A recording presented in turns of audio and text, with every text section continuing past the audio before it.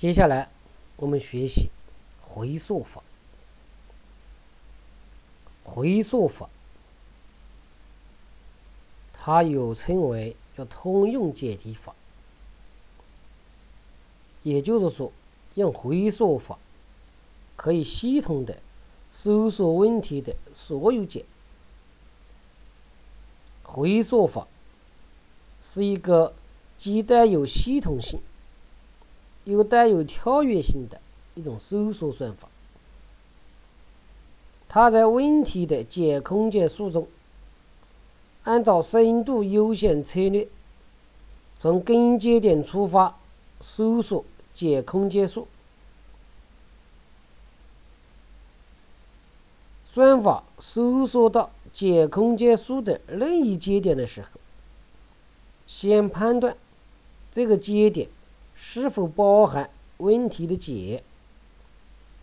如果肯定不包含，这就跳过对以这个节点为根的指数的搜索，逐层向其主线节点进行回溯，否则就进入这个指数，继续按照深度优先的策略进行搜索。回溯法求问题的所有解的时候。要回溯到根，且根节点的所有指数都被搜索遍才能结束。这是求所有的解的时候，而如果是只求一个解的话，就只要搜索得到问题的一个解就可以结束。所以，这种是以深度优先方式系统搜索问题解的方法，就是回溯法。回溯法，它适用于求解组合数较大的一些问题。要弄清楚回溯法，首先我们要明确一个概念，叫做解空间。也就是所有解所在的范围之内，叫做解空间。我们通过一个例子来理解这个问题，就是我们前面所讲的 n 个数要取 r 个数的一个组合的问题。假设我们 n 等于五二等于三。是吧？我们前面讲的这个问题，那么它的所有组合就一二三、一二四、一二五、一三四、一三五、一四五等等这样一些，那么所有的组合都是它的解空间，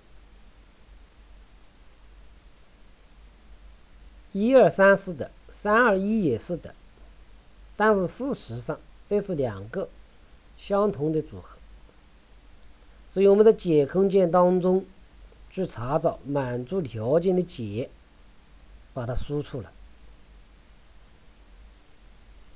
所以像这样一种问题，那么它的解空间我们就把它定义为 x 一、x 二和 x 三。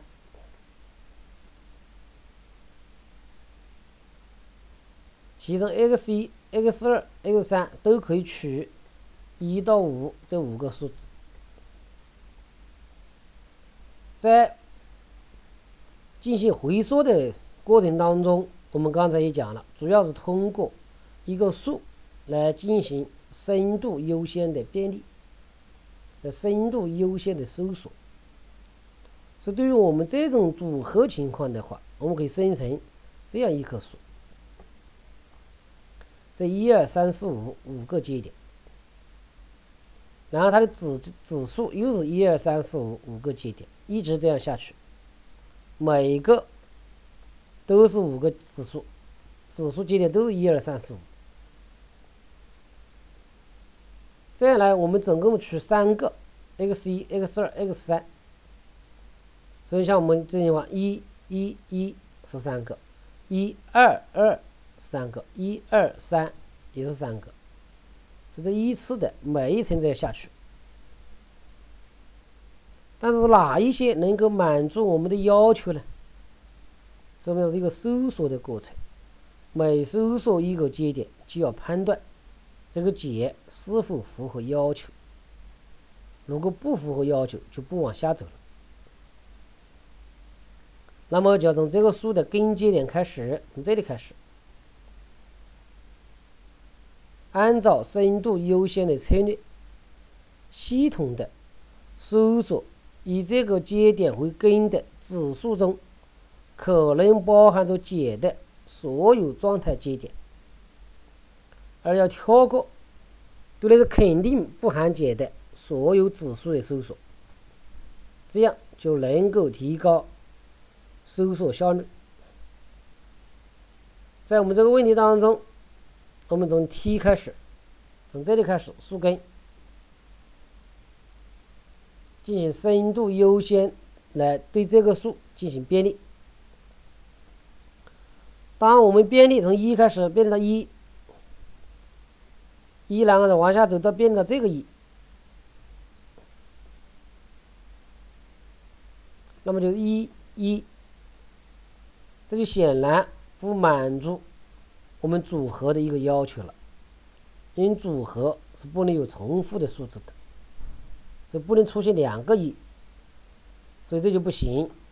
这个一，一是不满足解的条件的，所以要进行回溯，要往回走，不要再往下走了，不要往这个一的五个走了，还要回溯回到它的负节点，回到它的负节点以后，再来便利它的负节点的下一个指指数，那就是二了。到这来了，从 U 一又到了二，到便利到节点二的时候，这个时候它是满足约束条件的。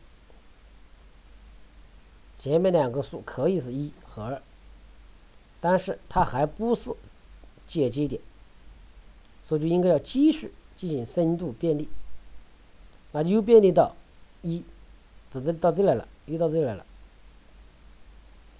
一二一，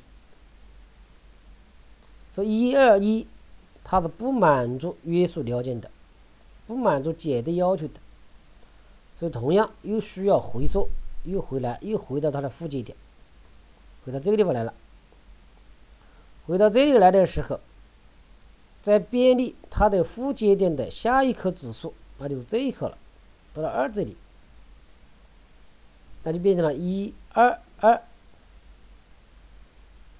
同样情况，一、二、二也不满足解的要求，所以又进行回溯，又进行回溯，又回溯到这个节点，然后再便利它的下一个节点，三，就变成一二三，说一二三是满足条件的，由于一二三满足条件，它就已经是一个解节点。这就保存这个节点，或者输出这样一个便利的过程，并且又需要回溯到它的负节点，也回溯到它的负节点，到这里。继续深度便利，下一个节点就是四，所以变成一二四，它也是满足条件的输出，然后再是一二五，也是满足条件的。这这一这一个就便利完毕了，没有了。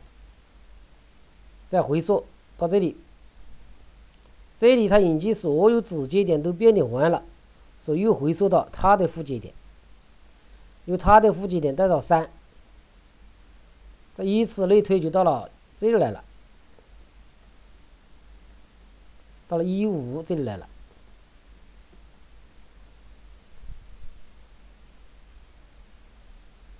所以把这里便利完了以后，最后又到这里来，是不是？所以一个一个的，按照刚才这种方式进行回溯，把满足条件的解输出来，而不满足的话，就往回缩，是这样一个过程。所以从这个过程当中，我们就可以看出，回溯法，它首先放弃了关于规模大小的一个限制，并且将问题的候选解按照某种顺序逐一的进行试探。所以有时候又把回溯法称为试探法。试探过程当中。发现当前的一个候选的解不可能是解的时候，而且这个规模下还有其他的可候选解的时候，就顺序的试探下一个候选解。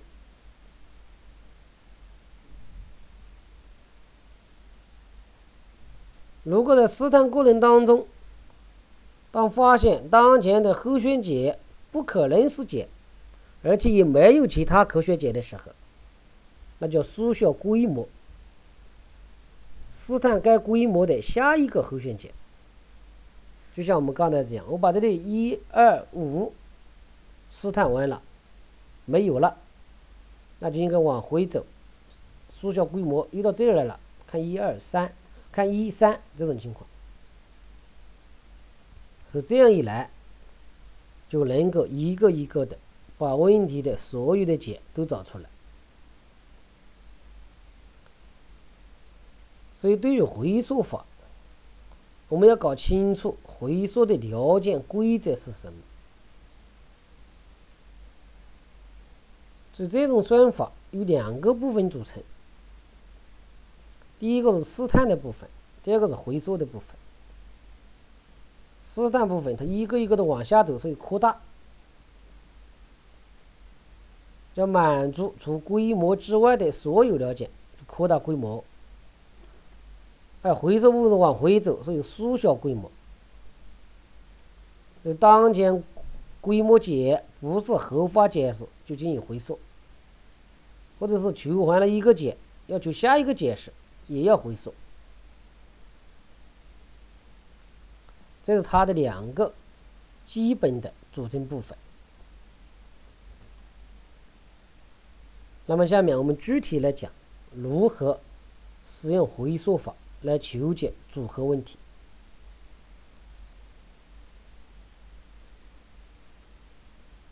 我们现在要求的不是从五个数里面取三个，因为前面我们讲重组法的时候，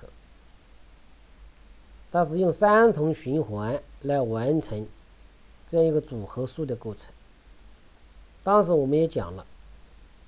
那里的 r 等于三是固定的，当 r 发生变化的时候，程序就要进行修改，所以它没有一个通用的解。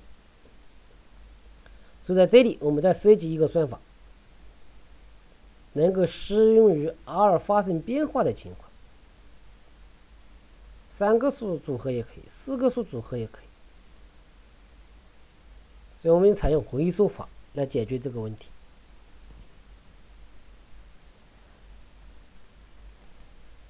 那么我们要找二个数的组合，我们要采用回溯法找到解的话，我就把它的组合找到的数放到 A 数组当中去，分别成了 A 零、A 一、A 二一直到 A 二减一，这就二个数了。并且这二个数要满足一些性质，就是后面这个数要大于前面这个数，也就是我们是按递增的顺序来找这个顺序数据的。后面这个数字要比前面这个数字要大。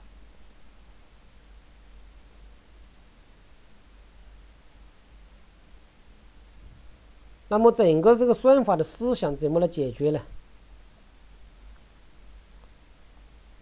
我们首先就是 a 零等于一，从一开始，因为它整个是 n 个自然数这样下来的，从最低的开始。那么这个时候，后旋解它的规模就是一，后旋解本身也是一，且满足除了问题规模之外的全部条件。所以这个时候，下一步就应该要扩大规模，要考虑 a 一的赋值的问题了。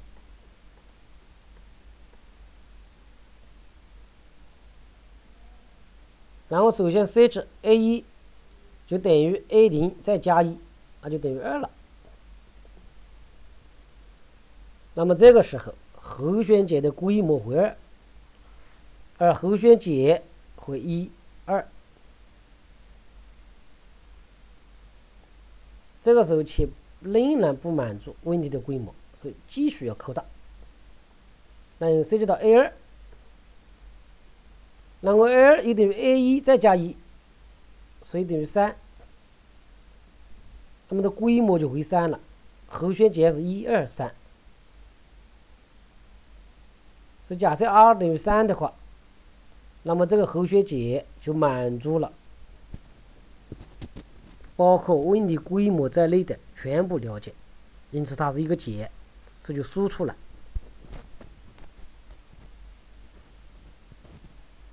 那我们再考虑这规模三下还有没有其他的解，或者选下一个候选解。这个时候我决定 a 二加一，就把它调整为四，以及以后再加一调整为五，都满足问题的全部要求，这一直下去都满足要求。那这样就得到了一二四和一二五，再以此类推下去。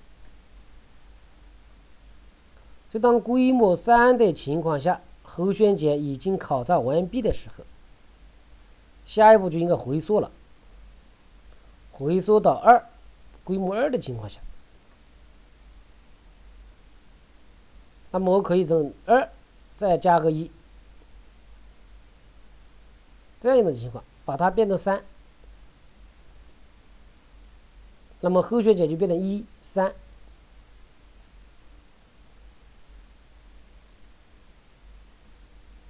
一三的话，因为前面已经有一二三了，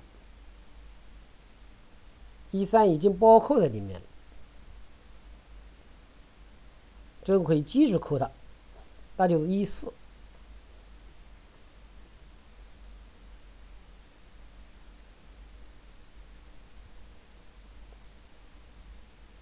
那么这样一来，就逐渐逐渐的，一个一个的把这里设置完一五，完了以后，再又进行回缩到一这里来，按这样一种方式，能够就最后结果是按照递增的顺序，把它就出来了。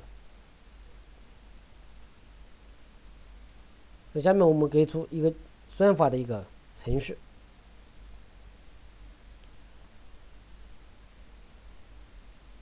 我们简单的看一下，这个组合数是求从自然数一到 m 当中领取 r 个数的组合。自然数一到 m 当中取二个，当然 r 要小于等于 m。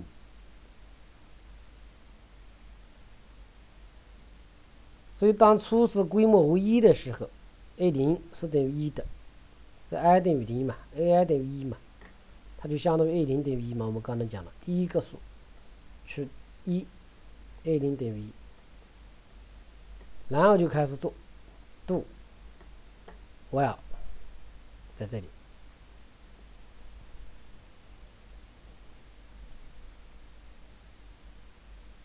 做什么呢？如果 ai 减 i 小于 m 减二加一的话，就表示还可以向前试探，还可以向前试探。就我们刚才讲了，从第一个、第二个、第三个一直往后走，可以往前试探。而这个判断，if i 等于 r 减一，就是判断当前候选解它的规模是否满足问题的规模要求。找到一个解，因为假如问模问题规模，我找三个数的组合，那么 r 等于三。我找七个数的组合，r 等于七，看它是否满足，因为从零开始的，是等于 r 减一的时候就已经找满了七个数，那么就已经找到了一个解了，这是找到一个解的情况，是在这里这一部分。然后这是 for j 等于零，j 小于二，j 加加把它输出来了，找到以后就把它输出。找到一个解，满足问题的规模，然后在 AI 加加考察当前规模下的第一个候选解，往下走，再跳出去完。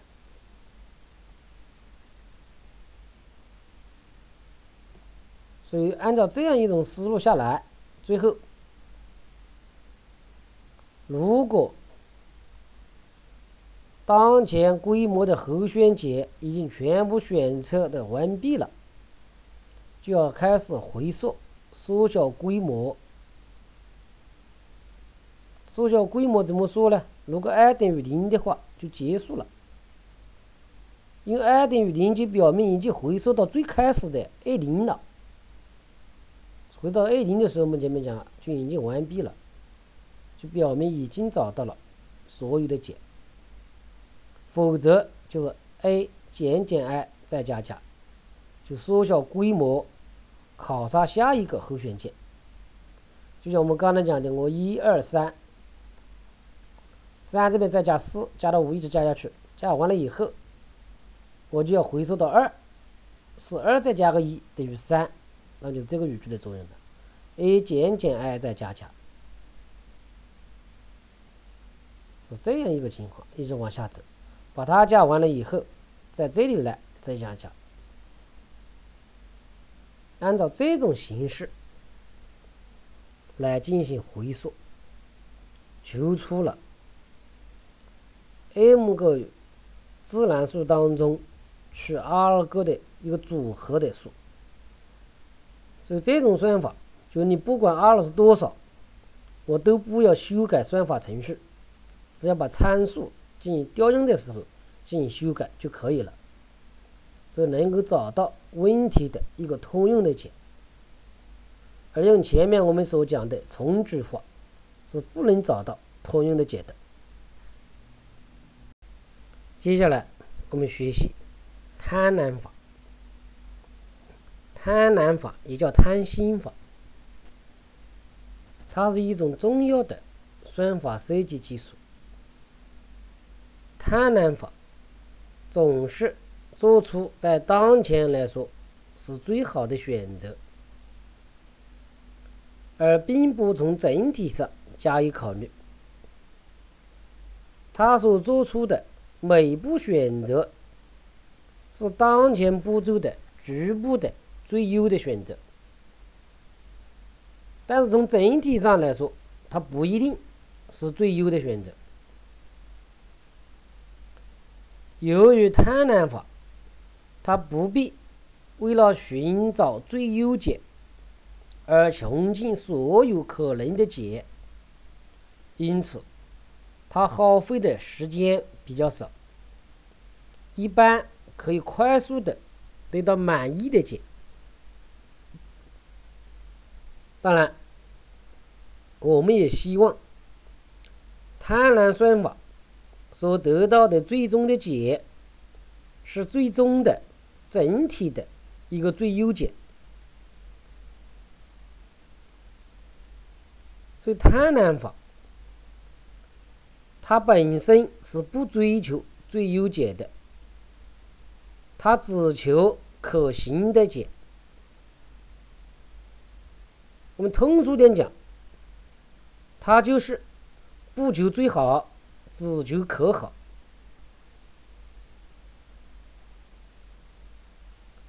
另外，贪婪法，它每一步都按照贪婪的准则来寻找一个解，所以到了第 n 步以后，得到的问题的所有解。当然，我们这里假设 n 是问题的规模，因它每一步都可以找到一个合适的解、可行的解。那么到了第 n 步以后，就能够得到问题的所有的解。如果找不到所有解的话，这就修改贪婪的准则，放宽贪婪的条件，或者是修改算法的某些细节，重新从头开始来寻找解。第三个方面，贪婪法每一步所找到的解是这一步当中的最优解，但每一步的最优解所形成的一个整体的解，并不一定是最优的，所以它的基本思想。就采用逐步构造最优解的方法，在每一个阶段都做出一个看上去最优的决策。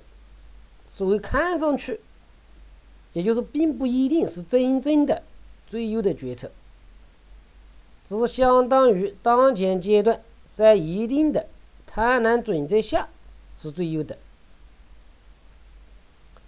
而他的决策一旦做出，就不可再更改。所以，做出贪婪决策的依据，就称为贪婪准则。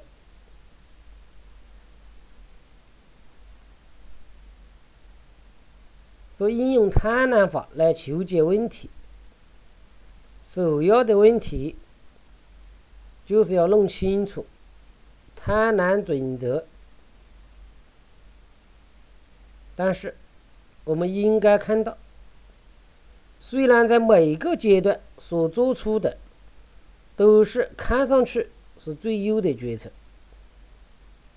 但这些决策的集合，从整体来说，可能并不是最优的。比如，假设有个小孩买了价值。不到一块钱的糖，并且将一块钱交给了售货员。售货员希望用数目最少的硬币来找给这个小孩，因为他买的东西不不到一块钱，而交了一块钱，所以还要补零给他。所以售货员就希望。用数目最少的硬币来找给他。我们假设就提供了数目不限的面值，分别是二十五分、十分、五分和一分这四种硬币。嗯，我们假设是有这四种硬币，那么。这个售货员分步骤组成要找的零件数，是每次要加入一个硬币。那他选择硬币的时候，所采用的贪婪准则是什么呢？假设是这样的，他的贪婪准则就是每一次选择应该使零件的数要尽量的增大，这就是他的一个准则。每一次选择硬币的时候，就使零件数尽量的增大。这样，为了保证解法的可行性，也就是说，所给的零件要等于要找对零件数，所以说选择的硬币不应该使零件总数超过最终所需的一个数目。假设小孩是买的是七十九分的一个价值的一个糖，那么就应该要补二十一分，不能超过。再假如说，小孩买的是三十三分的糖，那么就应该。要给他找六十七分，我们把这个数故意写大一些，啊，要找六十七分。要找六十七分的话，根据他的贪婪准则，每一次选择应该使零间数尽量的增大，所以首选的肯定是二十五分的硬币，是吧？选一枚二十五分的。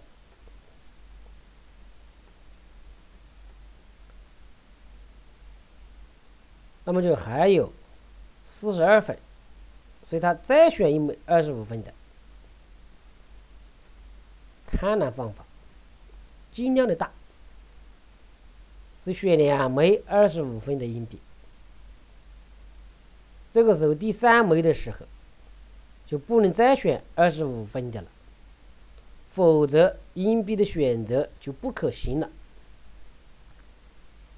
所以第三枚。应该是选十分的硬币，然后这是五分的硬币，这就六十五了。最后再加两个一分的硬币，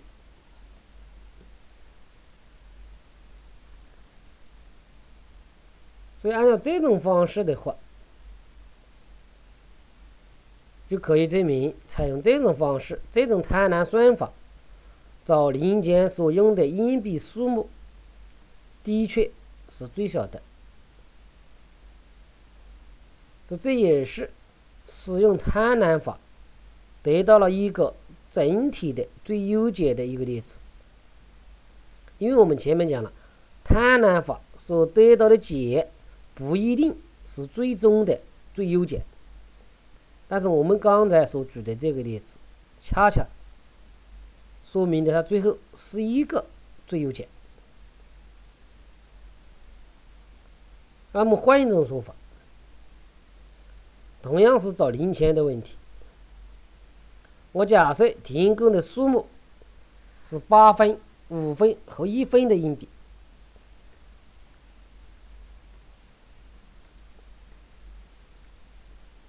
还需要给这小孩找二十分。需要找二十分，那么按照我们刚才所讲的贪婪准则，也就是每一次选择应该使零件数尽量的增大，所以这样呢，首先选的是八分的一个硬币，八分，那么就还有一十二分，所以再选一个八分的硬币，最大。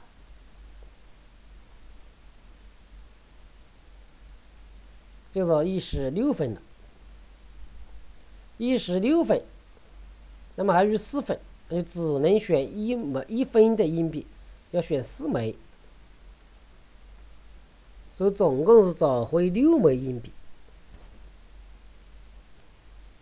这是按照刚才的贪婪准则，是用贪婪法所得到的一个最终的解，但是这个解就不是最优的解。因为这里总共需要找六枚硬币，啊，很显然，我二十分的，我只要找四枚五分的就可以了，四枚五分的硬币就可以解决这个问题，它才是最优的解。所以我们讲贪婪法，它的解可能是最终的一个最优的解，也可能不是最优的解。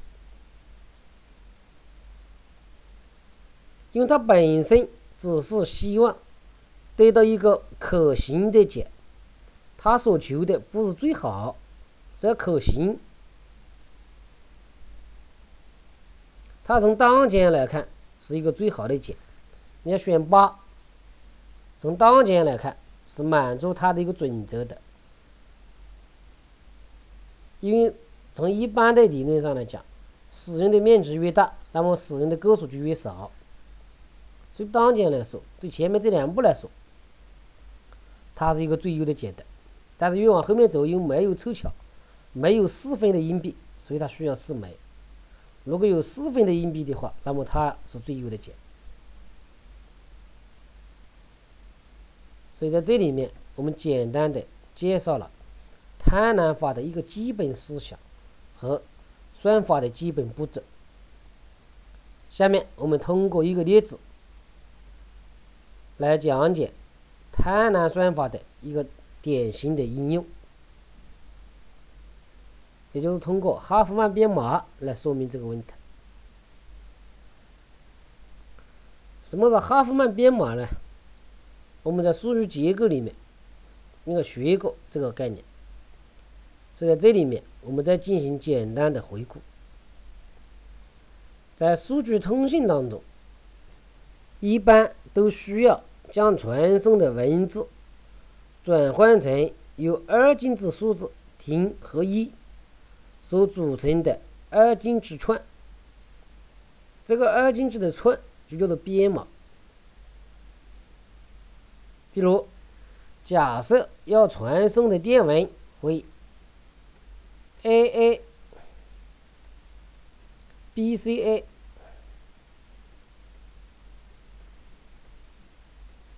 D C，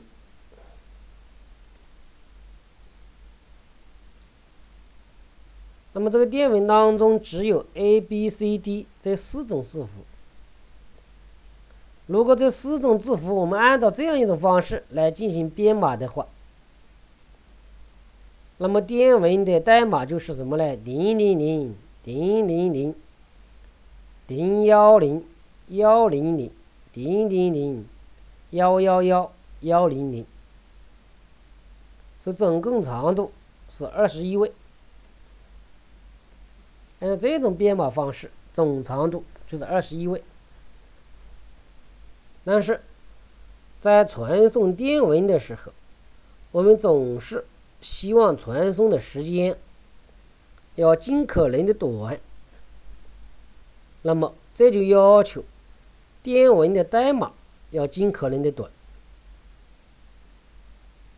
显然，我们这样一种编码方式，它所产生的代码不够短。所以说，我们变化一下，采用这种编码方式，用两位来表示。因为从理论上来讲的话，四个字符我可以完全用两位来表示了，零零零幺幺零幺幺就区分了这四个字符。所以这样一来，所建立的这个电文的一个编码，每个是两位，总共是七个，所以是一十四位。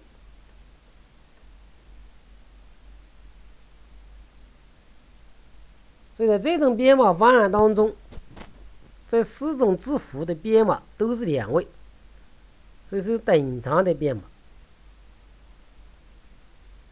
如果在编码的时候，我们还要考虑字符所出现的频率，就让出现频率高的字符采用尽可能短的编码，而出现频率低的字符。采用稍微长一点的编码，所以构造出一种不等长的编码。这样的话，那么电文的代码就可能会更短一些。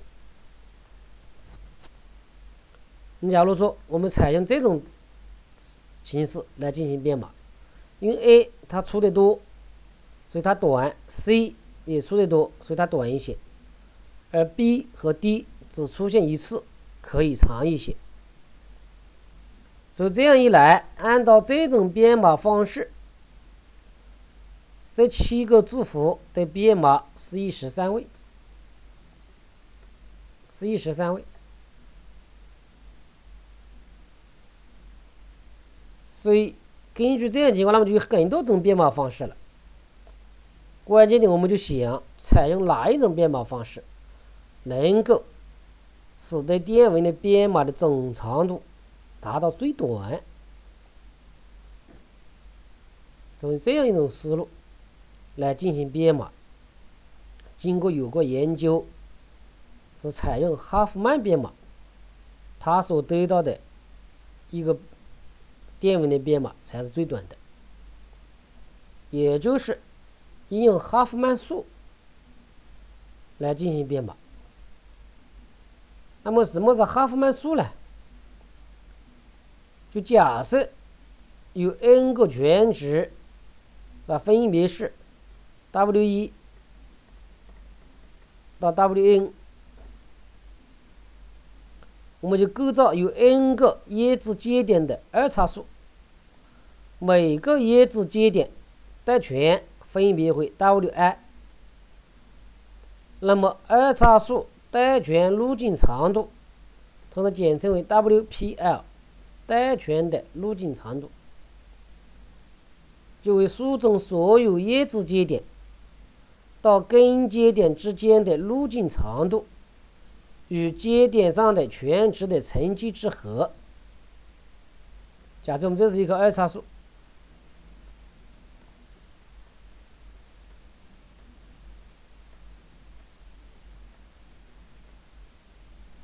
叶子间的全值，我们随便写一个一、二、三、四，假设是这样子。那么这一棵二叉树的带权的路径长度，就等于叶子节点到根之间的路径长度。你像这个第一个节点，叶子节点到根的长度是二，它的全值是一。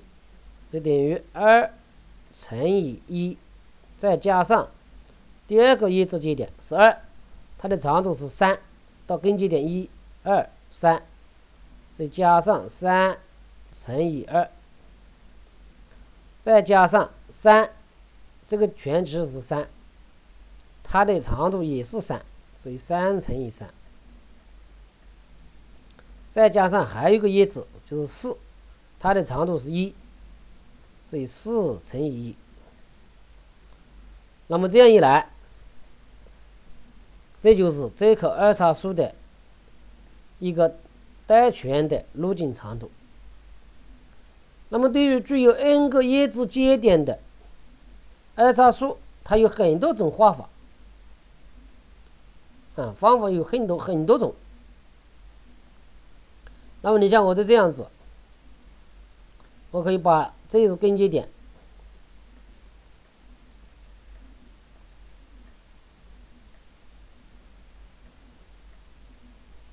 那么我这里面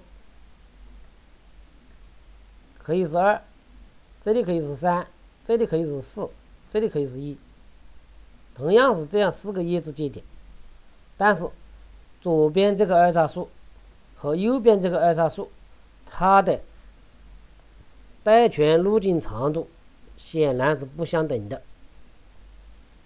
那么，在给定的具有权值的 n 个叶子节点的二叉树当中，在所有的二叉树当中，哪一个二叉树的带权路径长度最小的，就称为哈夫曼树，也叫做最优二叉树。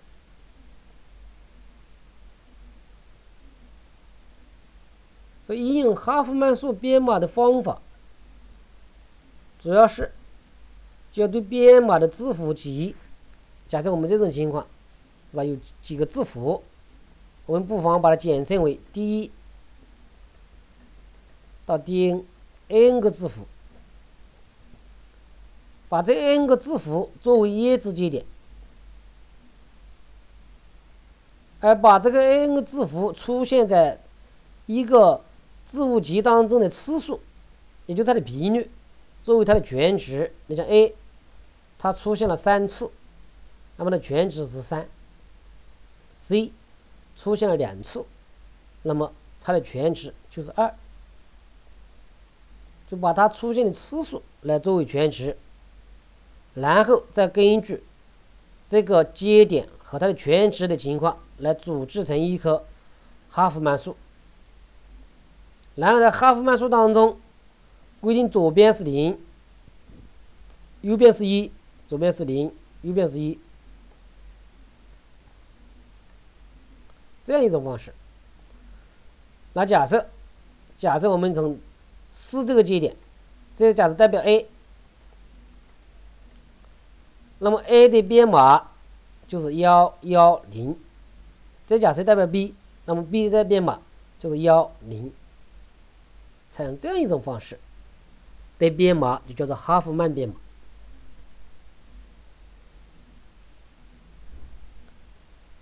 所以我们从这里可以看得出来，哈夫曼编码它是一种不等长的编码，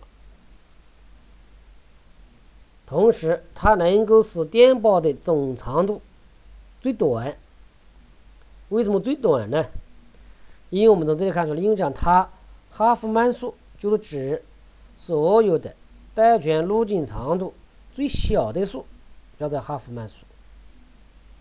它既然是带权的路径长度最短、最小，那么也就是这些字符编码以后，它的总和是最小的，是这样一个原理。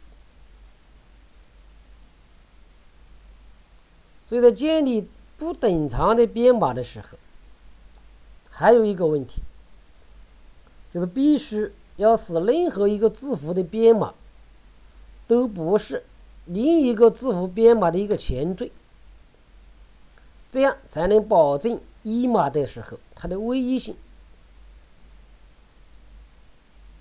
你假如说我们在这种编码情况下，字符 A 是零幺，而字符 B 是零幺零。那我如果对于这样一圈字符，我零幺零幺零零幺，那么根据这种编码方式，那我就是 A，再是 A，再是 C，是吧？这是一种编码方式。在同时，我又前面看前面零幺零。零幺零是 B，零幺零是 B，然后再是幺零，幺零是 D，然后再零幺是 A，所以它也可以翻译为 BDA，同时它也可以翻译为 ABD。所以这样的话，收到电报码以后，那么的解码就成问题了。他不知道究竟是 AAC 还是 BDA，所以当建立不等长的编码的时候，就必须要保证任何一个字符的编码都不是另外一个字符编码的前缀。你像这个主要原因就是零幺，它是 B 的一个前缀。是 B 的一个前缀，所以就不行，出现了问题。所以这不等长编码的一个要求，而等长的编码就不存在这个问题。你反正都是等长的，三个三个的看，或者两个两个的看，不会出现问题。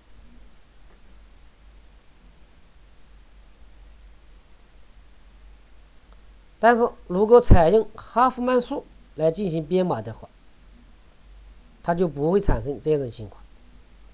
也不会产生这种二异性。为什么呢？因为在哈夫曼数当中，每个字符它的节点都是业节点，它们不可能在根节点到其他字符节点的一个路径上，它不在半路上，就在最底下。所以，一个字符的汉夫曼编码，它不可能。是另一个字符的哈夫曼编码的前缀，所以保证了一码的非二义性，因此就使用哈夫曼编码来对电报进行一编码和一码。哈夫曼编码它是一种构造最优无前缀码的贪婪算法。一般分为两个步骤。第一个步骤就是构造哈夫曼树，第二个步骤就是对哈夫曼树的节点进行编码。构造哈夫曼树的一个过程，三个步骤。第一是根据特定的 n 个全值构造含 n 颗二叉树的集合，就每一个节点。是一个二叉树，其中 Ti 只有一个带权为 Wi 的根节点，其左右指数都为空。第二，以 Ti 为指数逐步合并形成哈夫曼数。那么怎么合并呢？根据贪婪准则，在 F 当中选取。两颗根节点全值最小的数作为左右指数，形成一个新二叉树，且新的二叉树的根节点全值为其左右指数根节点的全值之和。同时，在 F 中用新二叉树替代它的左右指数。然后再重复这个步骤，直到 F 只含有一棵树为止，那么这棵树就是哈弗曼树。所以这看起来比较抽象。下面我们具体的举一个例子。我们假设要传输的字符为 A B C D E F G H I J。对应的传输频率是二十三、一十三、一十六、二十九、三十一、一十一、七、二十四、三十三和一十九。那么我们怎么来构造哈弗曼数呢？根据刚才的规则，这里有十个节点。那么，首先就是有十颗二叉树，根节点分别为 A、B、C、D 到 H、I、J，它们的左右指数都是为空的。然后再选择两个全值最小的二叉数，组合成一颗新的二叉树。那么全值最小的，我们在这里找到一个是七。一个是一十一，所对应的 A B C D E F 和 G，把它两个找出来，组成一棵新的二叉树，并且把新的二叉树的根节点的全值等于它左右子树的全值之和。就这样来，就七加十一等于一十八，就把一十八把它放进来了，而把一十一和七删除了。按照这个步骤再找两个最小的，最小的十一十三和一十六，所对应的是 B 和 C，是把它们两个再合并成一颗二叉数。一十三、一十六就等于二十九，然后同样情况，把这个一十三和一十六删除了，把二十九加进来了。这里刚才是一十八加进来了，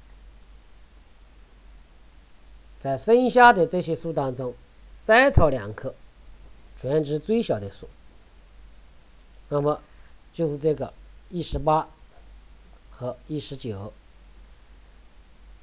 一十八和一十九，所以再找，就是一十八和一十九组成了三十七，所以这个一十九也没有了，这里也没有了，合计的是三十七，这里刚才也没有了，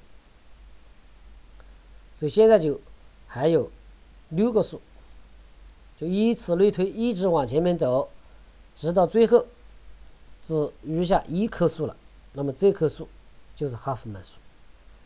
所以在我们这种情况，我们来看，在剩下的那么就有二十三和二十四，二十三和二十四组成了四十六，所以四十七这里啊，这里是二十二，二十二和二十四，所以四十六。那么这里已经没有了，这个也没有了，这个也没有了，这个也没有了，这个也没有了，所剩下的是二十九、三十一、三十三、三十七、四十六和二十九，所以应该是选的是这个二十九和这个二十九是最小的，再组合起来，所以这里是回了回了。不重复起见，我们把它改到三十，给了三十。有这样一来的话，就变成这个样子了。所以还剩下的是一个三十一，一个三十三，再加这三个。很显然，三十一和三十三是最小的，所以再去找它。三十一和三十三，那么剩下还有四棵树，在这四棵树当中再找两个最小的。很显然是三十七和四十六，在八十三，然后三颗，再找，再找，这样，整个就只有一棵二叉树了。所以这棵二叉树就是一个哈夫曼树。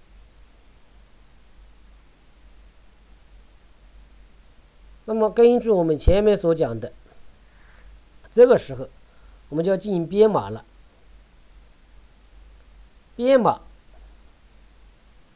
我们讲是从根节点开始，左边写停，右边写一，这就变成这个样子了。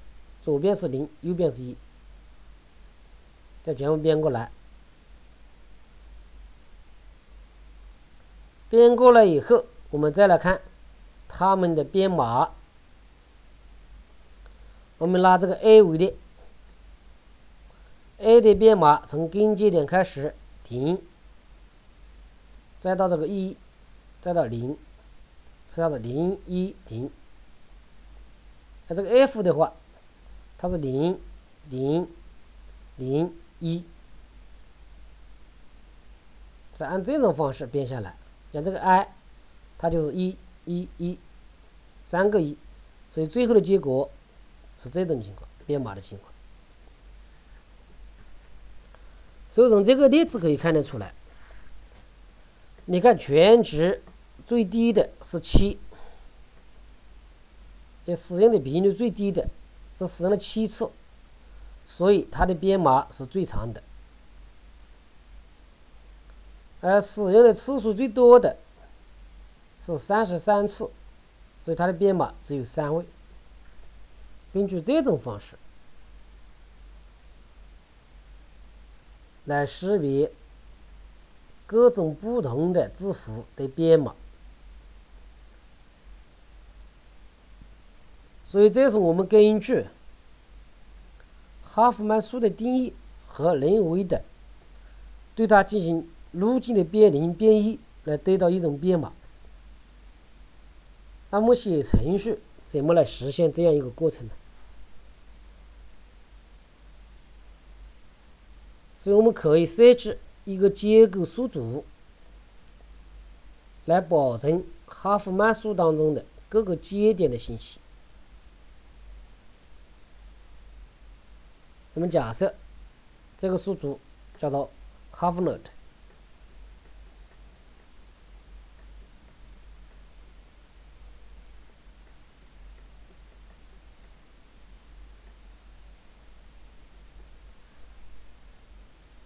用这个结构体数组来保存各个节点的信息。那么，总共有多少个节点呢？根据二叉树的性质，我们就知道，具有 n 个叶子节点的哈夫曼数，一共有二 n 减一个节点，就叶子节点是 n 个。那么它总共节点就二 n 减一个，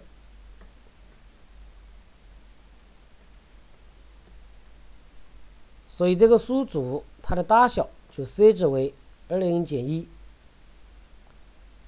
这个结构体，嗯，它包括四个域，有全值，有全值，有它的左孩子，左子针，右子针，右孩子，以及还要保存他的父亲，他的父节点。这四个域：全值、左孩子、右孩子和父节点。这每一个节点是用这四个域来组成的一个结构体。然后，因为有二零减一个节点，所以是一个结构体的数组。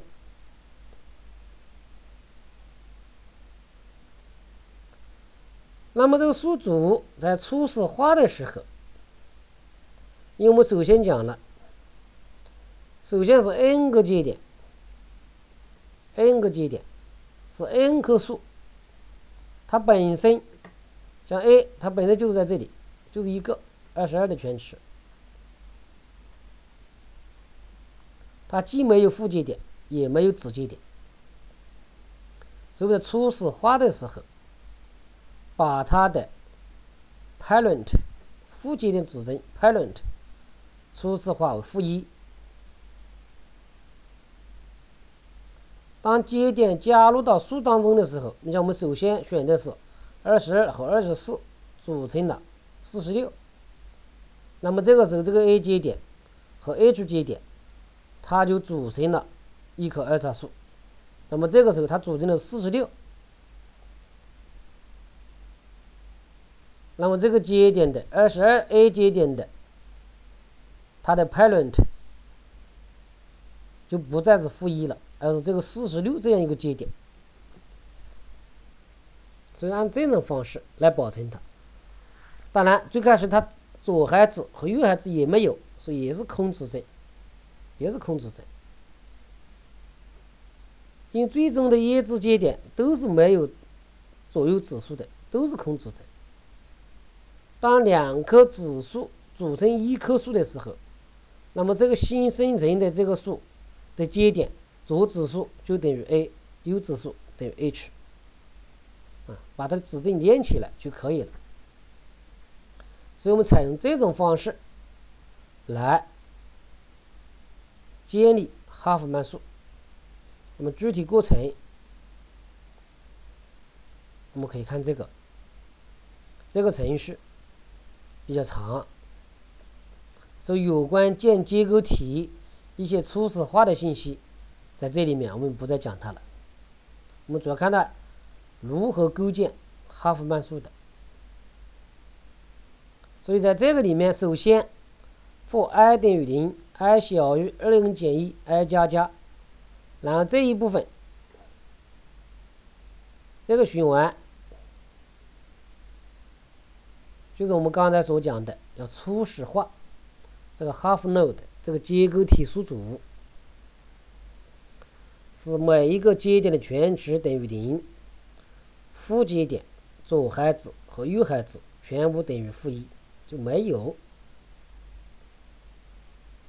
然后再开始输入 n 个叶子节点的全值，就是循环是 n 个 n 次，每一次输入一个叶子节点的全值，把它保存到。half node i 点 weight，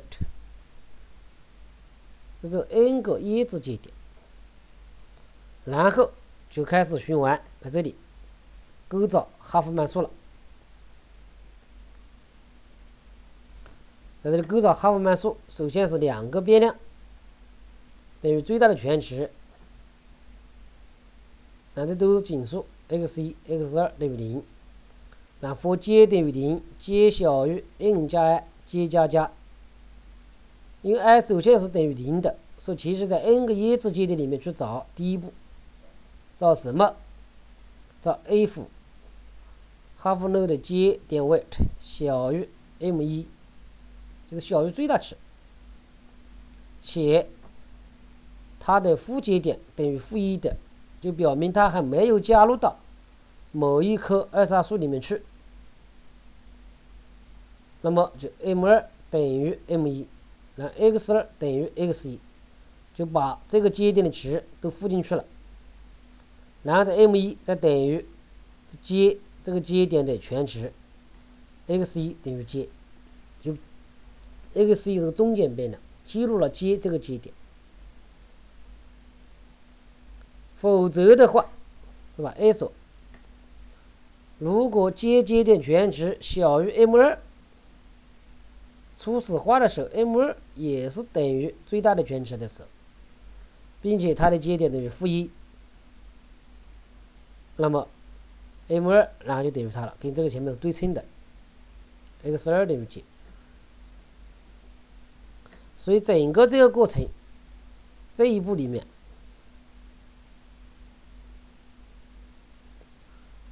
是在已知的二叉树当中去找一棵、找两棵全值最小的二叉树。首先来讲的话，是在 n 个节点当中找两个全值最小的节点，这是寻找的过程。那么找到了以后，下面就要进行合并了，把两颗指数合并成一颗指数，就是这几个语句了，是吧？half node。x 一，x 一是等于第一个最小的节点的，x 二等于第二个最小的节点的，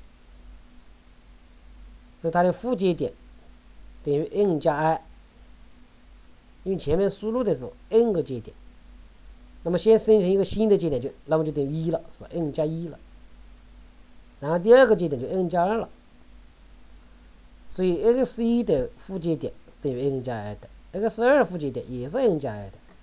就相当于我们刚才找的七和一十一最先这两个，那么七和一十一加起来等于一十八，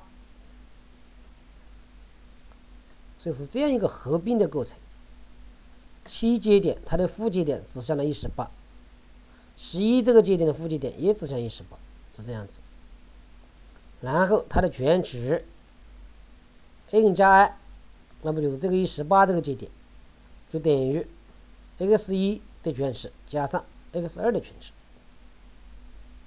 同时要修改一十八这个节点的左右孩子的指针，所以左孩子等于 x 一，右孩子等于 x 二，所以这是一个合并两颗指数的过程。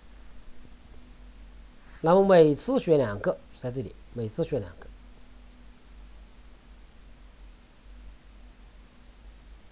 选了两个进行合并，然后再循环，再选两个再合并，总共次数是 n 减一次，因为它总的节点个数是二 n 减一，每次是两个，所以总的循环次数是 n 减一，是这样一种方式。所以这是构造了哈夫曼数。那么构造完了以后。就要对它来进行编码，就按照我们刚才所讲的，左边变零，右边要变一。那么给定了一个哈夫曼数以后，如何来求这个叶子节点的编码呢？假设我要求 f 的编码，怎么求呢？其实从叶节点开始，沿着它的 parent 的指针。因为我们在记录的结构的数组当中，记录它的负指针，所以它的排列的指针往前面走。如果这个节点是它的负节点的右子右孩子的话，那么就编码为一；如果是它负节点的左孩子的话，编码为零。这种方式。所以是沿着叶子节点开始，原节点的双亲链表回推到一直这么回推，推推推推推到根节点。那每回退一步，就走过了哈夫曼的这个数的一个分支，从而就得到了一位哈夫曼值。由于一个字符的哈夫曼编码，它不是从这个一开始的。因为我们从叶子节点回溯上去，这里首先得到一，然后再得到这个零，然后再得到这个零，然后再得到这个零，但是最后编码又不是这个顺序，是反过来的，是不是？是从这个零零零一这样一个过程，所以相反。所以这样的话，我们最后还要把它倒过来。当然，我们还有一种方式，我就可以设置一个数组，也是一个结构数组，来存放这样一种编码。我假设它的名称叫做 half code。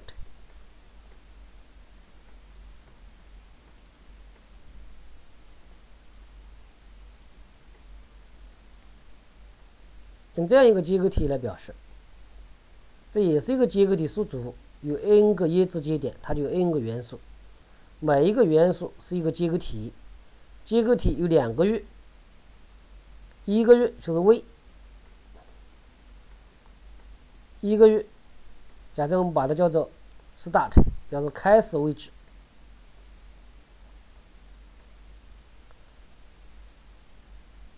哎，这个 v 它又是一个一维数组，是用来保存字符的哈夫曼编码。人家刚才这个 f，那么它就是数组的话是 bit 零、bit 一、bit 二、bit 三这样子下来。而 start 是表示这个编码在数组 bit 当中的开始位置。所以对于第二个字符。它的哈夫曼编码就存放在哈夫扣的 i 点 bit 当中。从哪里开始呢？是从它的第 n 个分量，从它开始，从从它开始存下来的话，应该从 start 开始记录，记录到。n 为止，到 n 为止，它有 n 个，就到 n 为止，就是这样一个过程。我们具体来看看它的程序。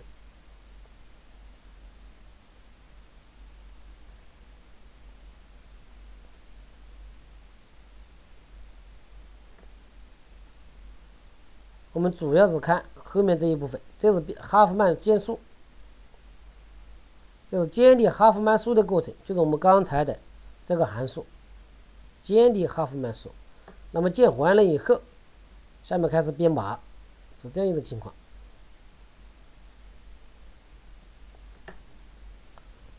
for i 等于零，i 小于 n，i 加加，这样一个循环，就是求每个叶子节点所对应字符的哈夫曼的编码。因为这个屏幕显示不完，所以我们这个写的不是很标准，是吧？这三个语句都写着一行。首先，cd 点 start 等于 n 减一，然后 c 等于 i，然后 p 等于 half node c 点 parent，是这样过来了。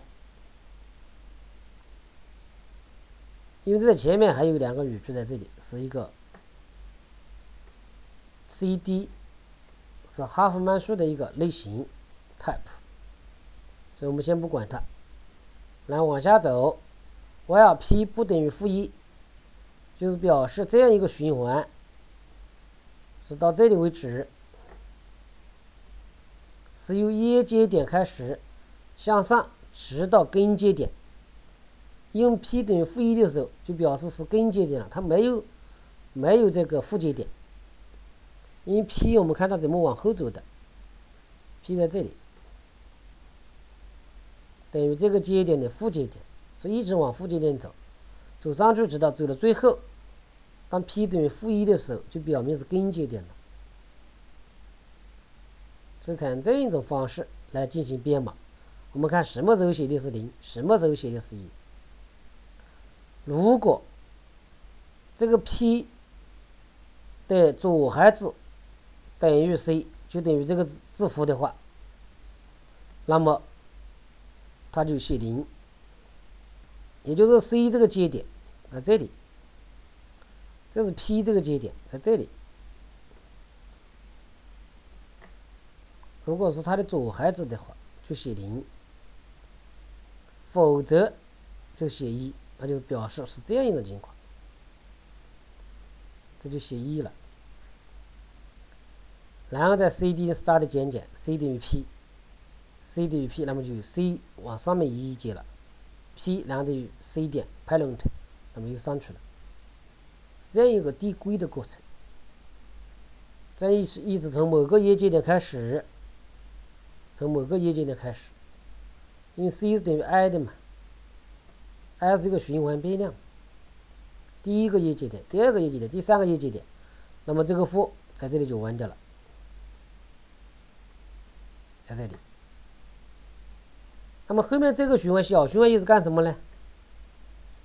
这是 for j 等于 c d 点 start 加一，j 小于 n，j 加加。然后 half code i 点 bit j 等于 c d 点 bit j。Half code i 点 start 等于 c d 点 start，意思就是说第二个字符的时候，因为是这个循环完了要接第二个字符的，接第二个字符的。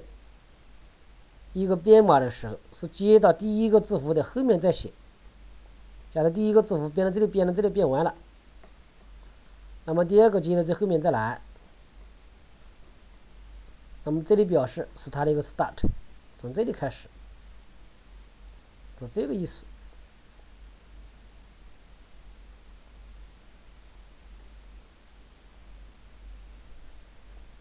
所以这其实是一个保存。所求出的每个业节点的哈夫曼编码，以及它编码的起始位的一个过程。那么后面这个循环，for i 等于零，i 等于 n 加加，这个循环，它就输出每个椰子节点的哈夫曼的编码，一个一个的输出。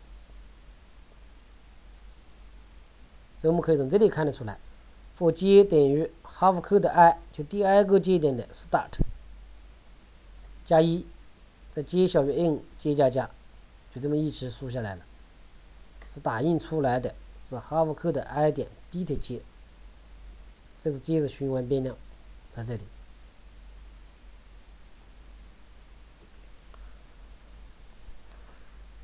所以按照这种方式。构造哈弗曼的时候，哈弗曼数的时候，首先是将由 n 个字符所形成的 n 个业节点存放到数组 half code half node 这样一个前 n 个分量当中，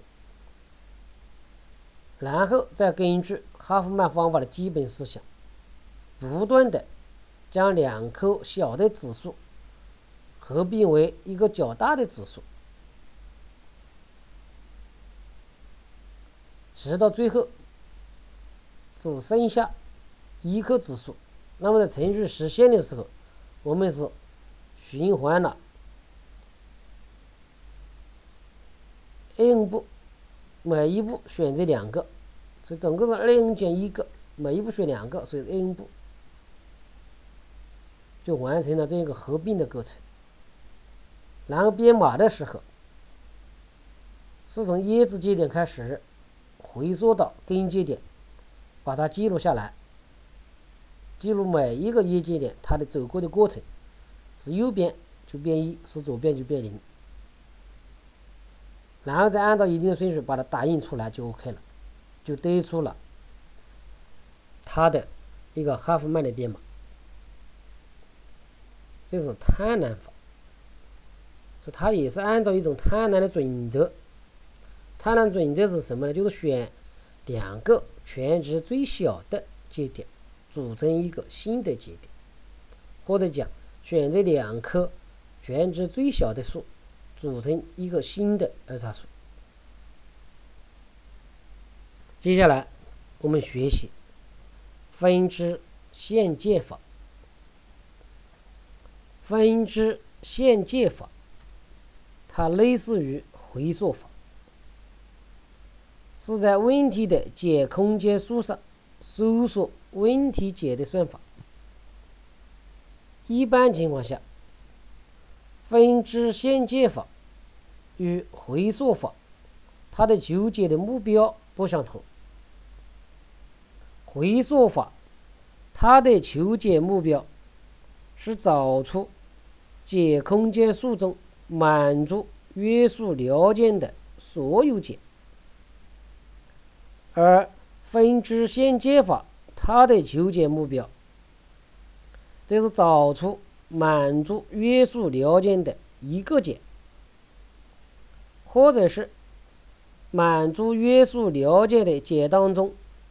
找出使某一目标函数值达到极大或者极小的解，也就是在某种意义上的最优解。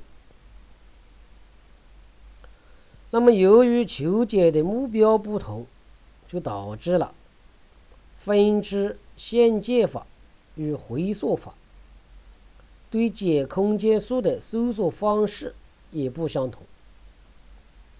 回溯法是以深度优先的方式来搜索解空间数，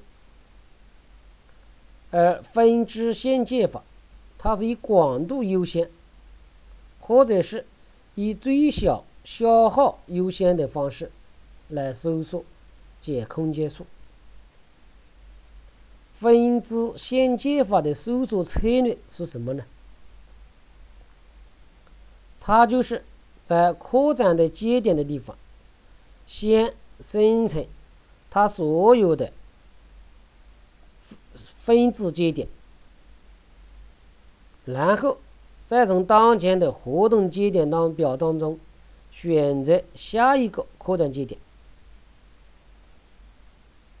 是为了有效的选择下一个扩展节点，加速搜索的进程。所以在每一个活动的节点处计算一个函数值，所以这个函数值就叫做线界，并且根据函数值从当前活动节点当中选择一个最有利的节点来作为扩展节点，使搜索操作解空间数上最优解的分支进行推进。以便尽快的找出一个最优解，所以分支线接法在解决一些离散的最优化的问题，例如我们后面要讲的最短路径的问题。所以分支线接法，它通常是以广度优先。或者以最小消耗，或者是最大效益优先这样一种方式来搜索问题的解空间数。问题的解空间数是表示问题解空间的一棵有序的数。常见的有子集数和排列数。根据我们前面所讲的，在搜索问题的解空间数的时候，分支线解法和回溯法，它的主要不同就在于它们对当前扩展节点所采用的扩展方式不同。在分支线解法当中，每一个活动的节点只有一次机位。成为扩展节点，活动节点一旦成为扩展节点，就一次性产生其所有的儿子节点。你假设在这样一棵二叉树当中，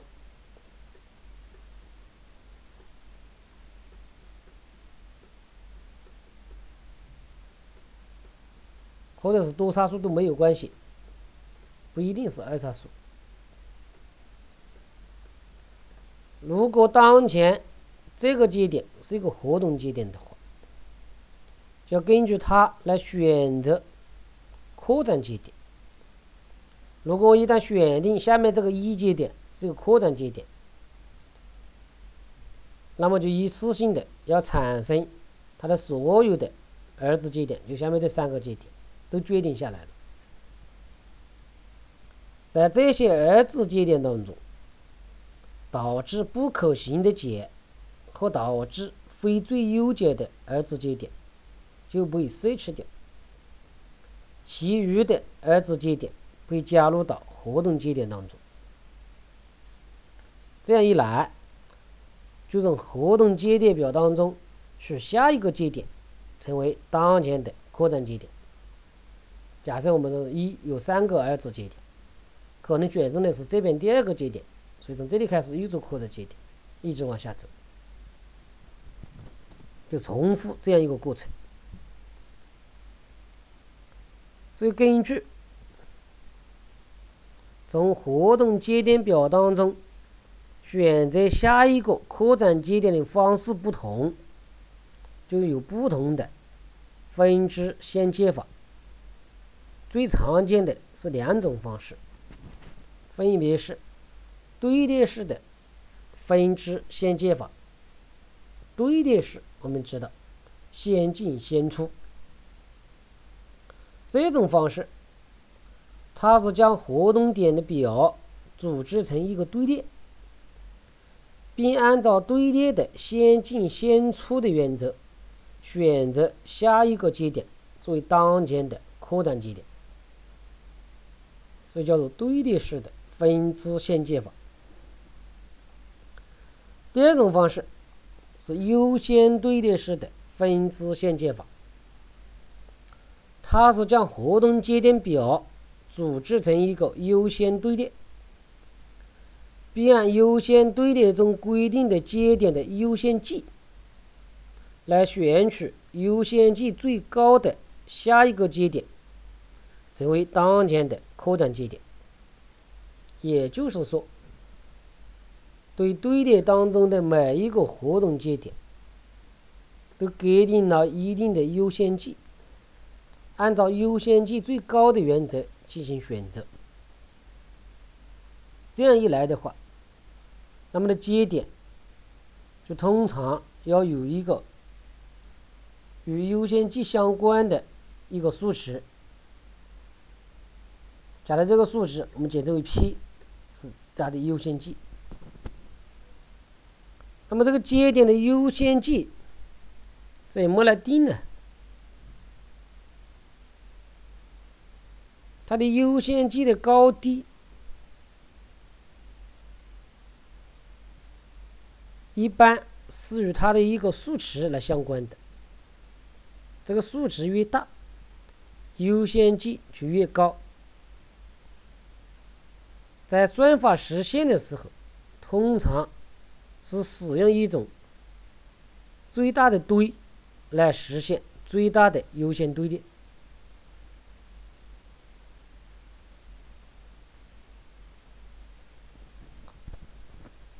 那么讲了这么多，可能大家都比较抽象。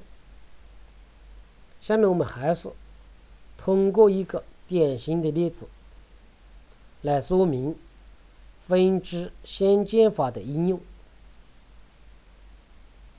我们所讲的例子是最短路径问题，因为我们刚才讲了分支线接法，它所使用的原则来搜索解空间的时候。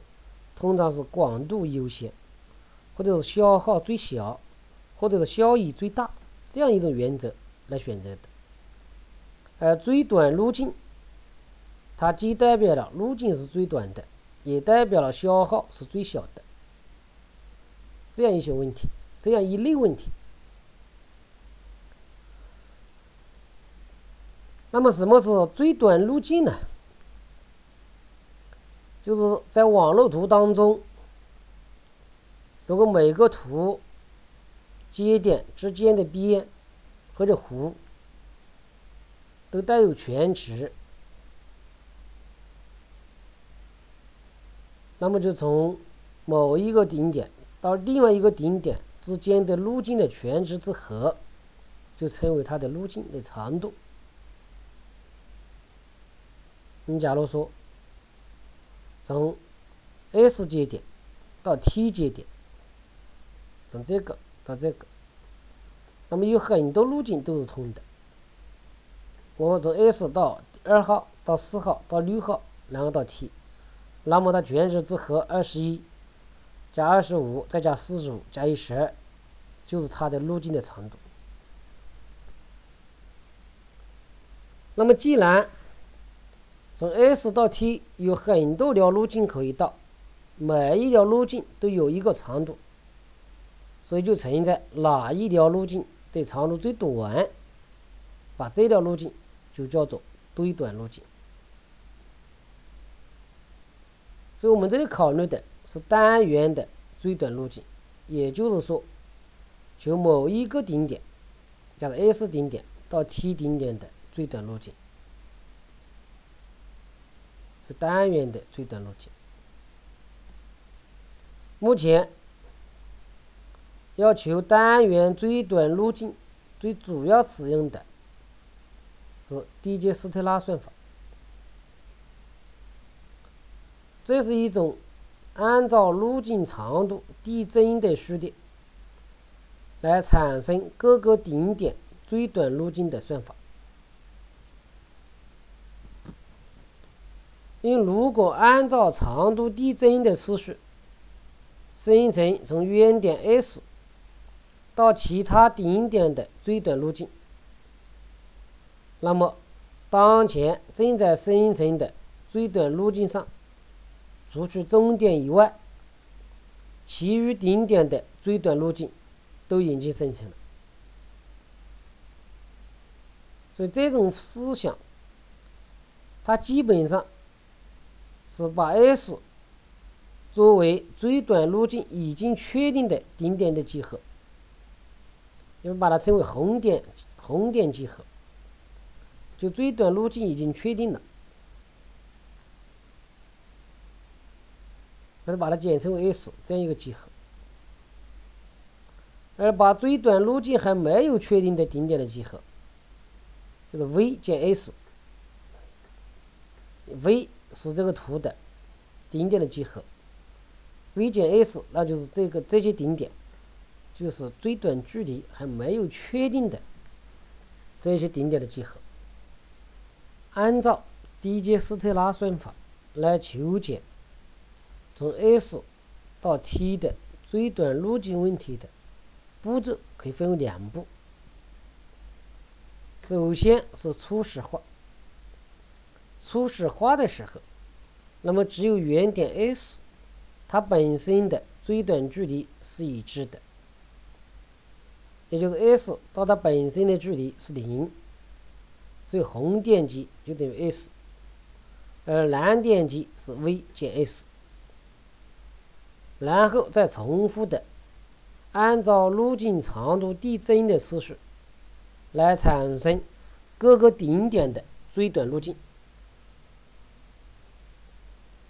在当前难点集当中，选择一个最短距离最小的难点来扩充红点集，以保证算法按路径长度递增的次序来产生各顶点的最短路径。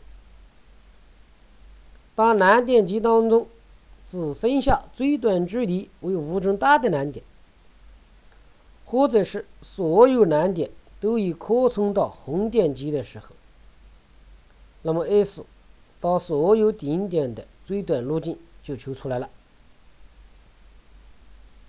那么什么时候是只剩下最短路径为无穷大的难点呢？这就说明这个图不是连通的，有孤立点。S 到这个顶点没有路径，所以它的距离为无穷大。否则，在连通图当中，所有顶点之间的距离都不是无穷大，所以所有的难点都可以扩充到红点级。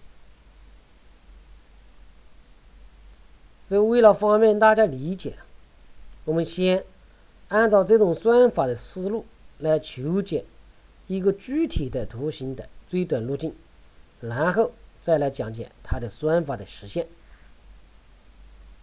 就我们刚才看的这张图，要求 S 到 T 的最短路径。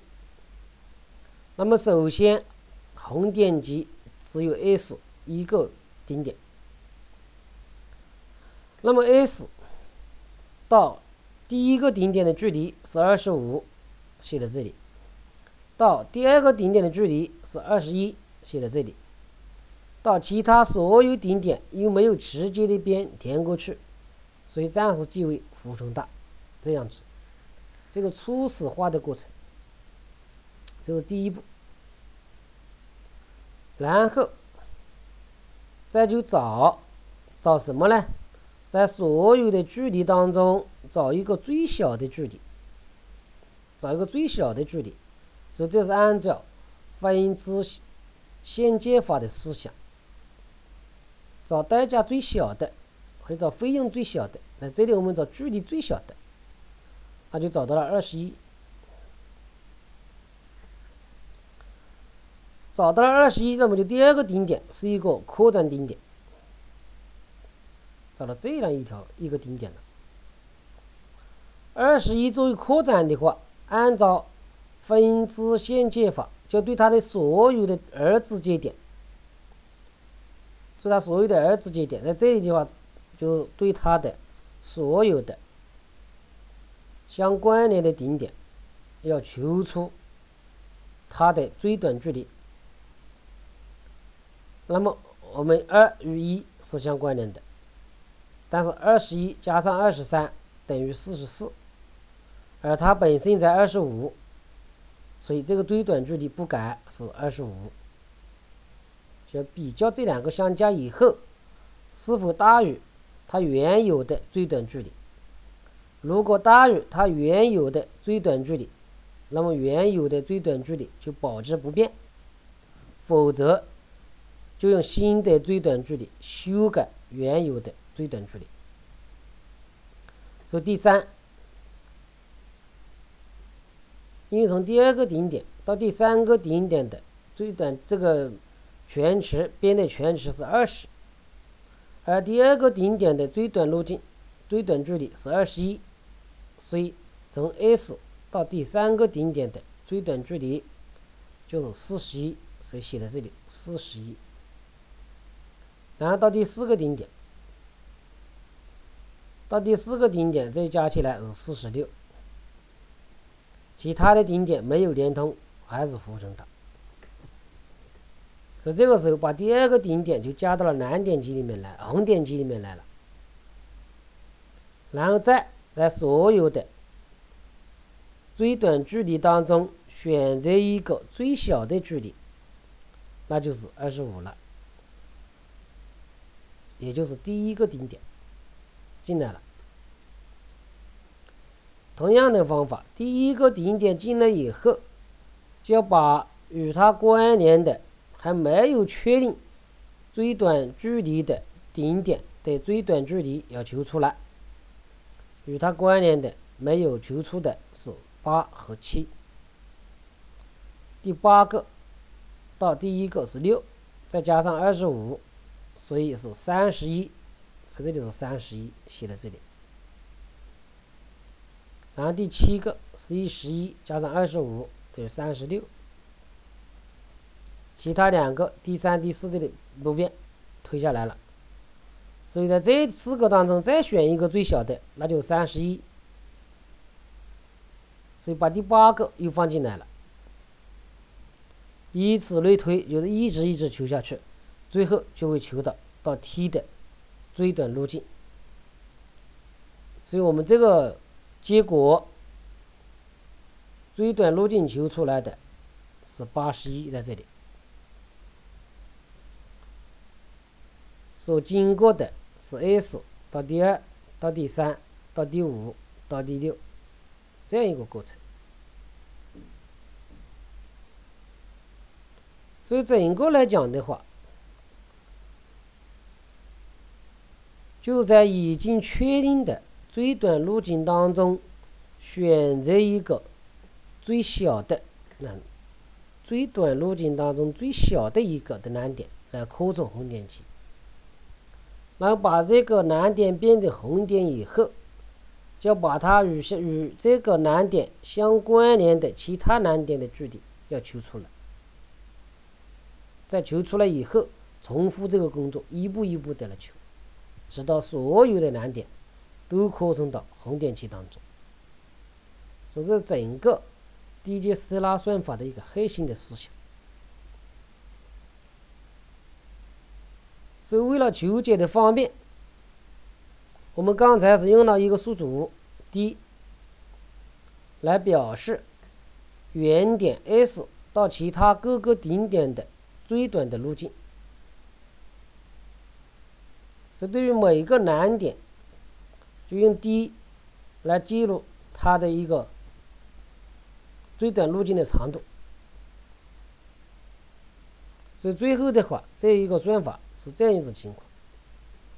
因为这个程序太长，所以我们只是用微代码的形式来描述这个算法，而不是一个具体的程序。这是表示用低阶斯特拉算法来求有向图 G 的原点 S 到各个顶点的最短路径长度，而 D 是记录最短路径。首先是初始化，是吧？S 等于红点 G，ds 等于零，然后。对于难点集当中的每一个顶点 i，难点集这是难点集，每一个顶点 i，设置 i 的初始的估计距离，di 等于 gsi，这是图的顶阶矩阵，就是 s 与哪个些顶点直接相关联的，就有一个距离值在这里。没有关联的，就是浮程大。然后用循环来扩展红点期。负 i 等于零，i 小于 n 减一，意思就是说最多是扩充 n 减一个难点，因为总共是 n 个顶点，前面 S 本身有一个了，那么最多还有 n 减一个，是这样一种意思。然后这是 dk 等于 min 取最小值 di，对所有的 i 属于这个非减 s，也就在当前的难点集当中选择最短距离最小的这个顶点 k，把它的标记记为 k，就 dk 个顶点。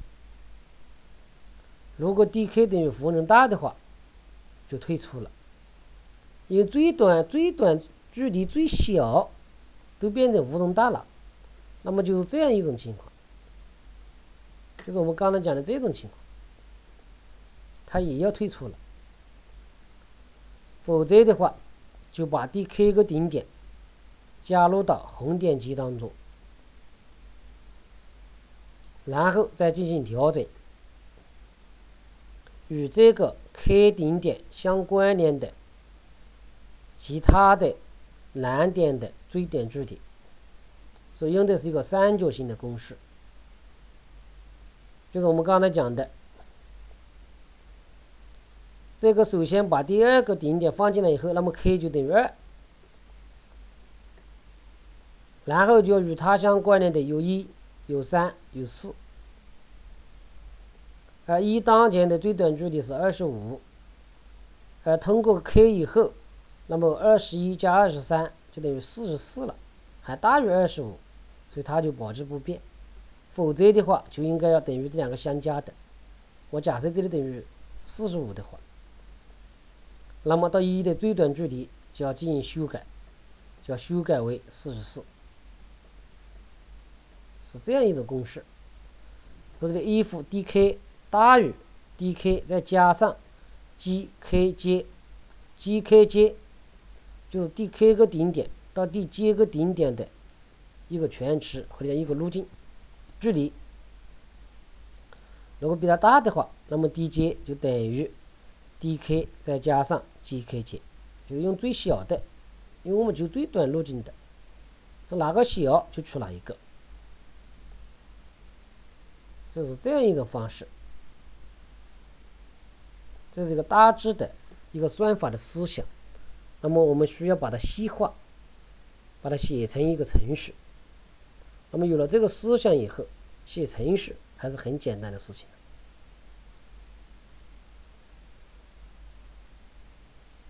所以这是这个分支线键法。那么最后我们看一看概率算法，我们进行简单的讲解。概率算法它的一个基本特征，就是对所有求解的问题，它的同一个实例。用同一个概率算法求解两次，可能得到完全不同的一个效果，所以它是一个随机的，是一个概率的过程。那么这两次求解问题所需的时间，甚至所得到的结果，可能会相当的大，一个差别。那么从这个特征来看，我们就可以排除哈夫曼的编码算法，它不是一种概率算法，因为哈夫曼编码它是一种确定的方法，给定了若干个叶子节点以后，它的编码就确定下来了。在一般情况下，可以将概率算法大致的分为四类，分别是数值概率算法、色五对算法、拉斯维加斯算法和蒙特卡洛算法。在这里面，我们对每一种算法进行简单的介绍。所以，数值概率算法通常是用于。数值问题的求解，这类算法所得到的往往是一种近似解，而且近似解的精度随着时计算时间的增加不断的提高。许多情况下，要计算出问题的精确解是不可能的。或者是没有必要的，因此，用数值概率算法就可以得到相当满意的解。主要是用的近似的，我们叫相当满意，它也是一种近似的值。第二种算法叫色物的算法，色物的算法它总能够求得问题的一个解。而且，所求得的解总是正确的。当一个确定性算法在最坏情况下的计算复杂度与它在平均情况下的计算复杂度有很大差别的时候，那么就可以在这个确定算法当中引入随机性，将它改造成一个。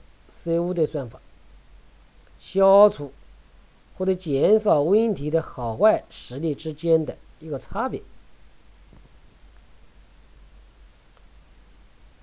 你假如说，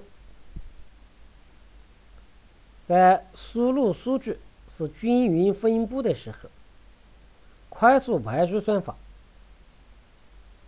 它所需要的平均时间就是一个 O。n log n，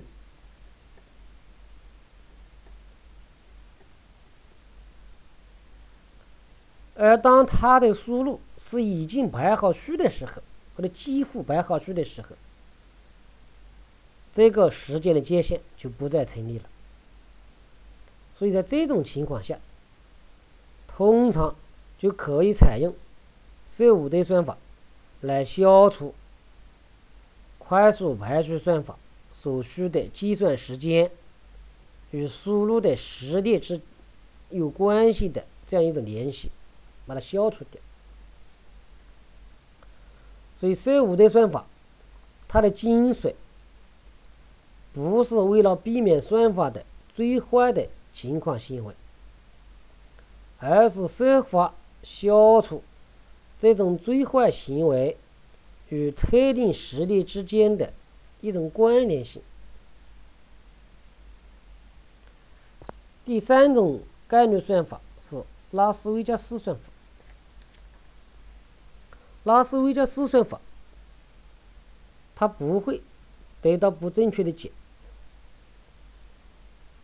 一旦用拉斯维加斯算法找到一个解，那么这个解肯定是正确的。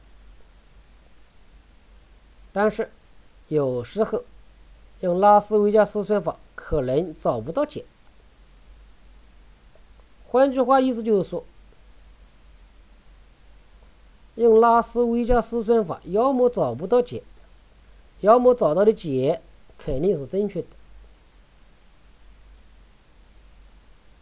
拉斯维加斯算法得到正确解的概率是随着它用的计算时间的增加而提高的。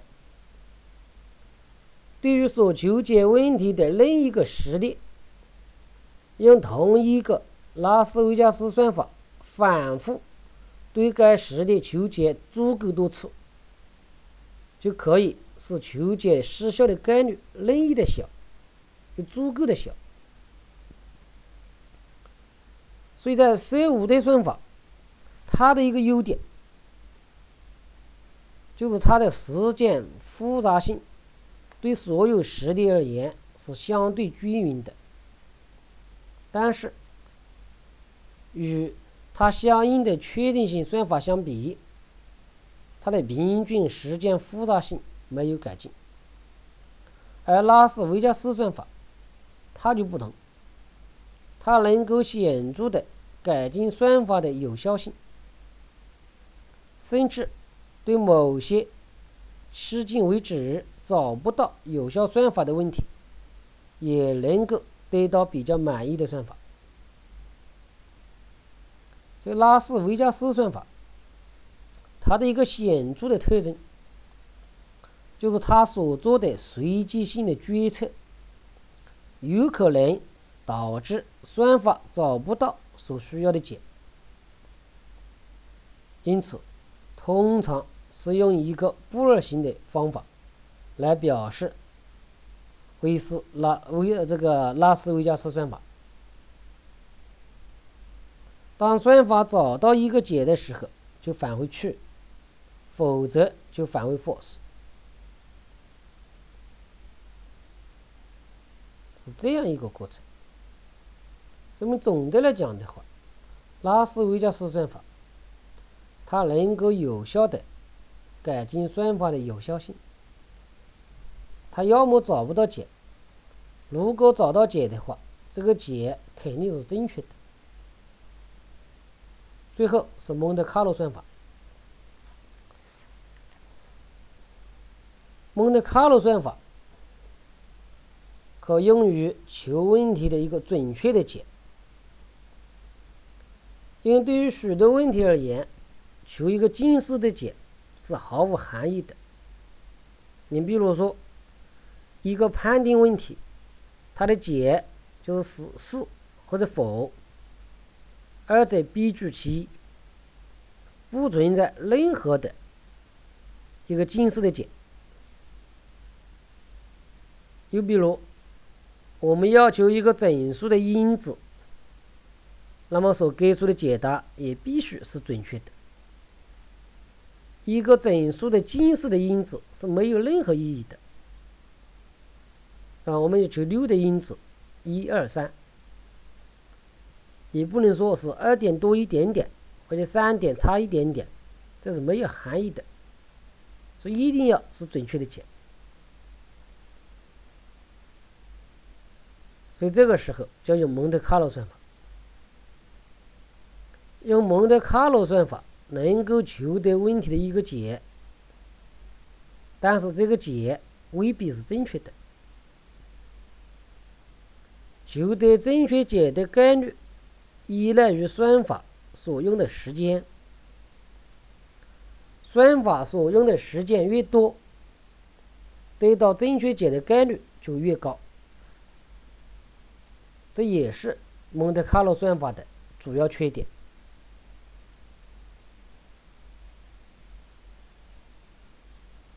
所以一般情况下，没有办法有效的判断所得到的解是否肯定是正确的。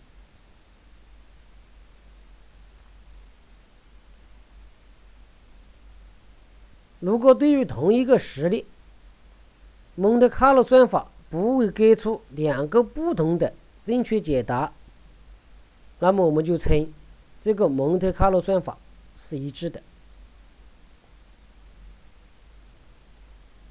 另外，有些蒙特卡洛算法除了具有描述问题实例的输入参数以外，还具有描述错误解可接受概率的参数。所以这类算法的计算时间复杂性，通常是由问题的实例规模以及错误解可接受概率的函数来描述的。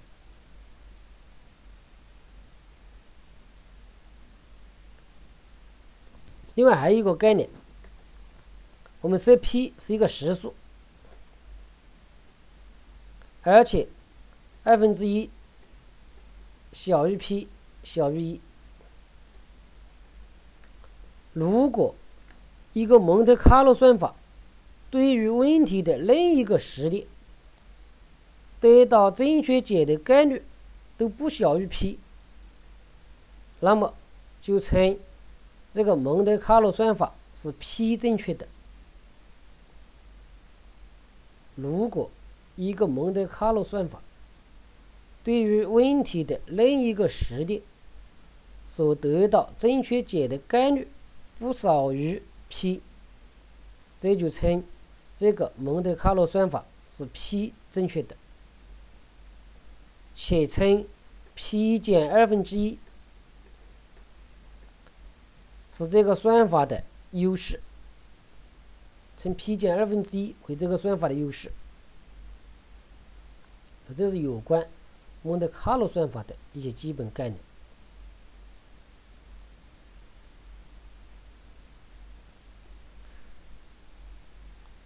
所以，有关概率算法在这里面，只要求大家掌握这四种算法的基本概念和它的特征。你比如说，蒙特卡洛算法。它用于求问题的准确解，但是用蒙特卡洛算法，他所求的解不一定正确，要跟与时间有关系，用的时间越多，正确的概率就越高。而拉斯维加斯算法，它要么得不到解。要得到解的话，肯定是正确的。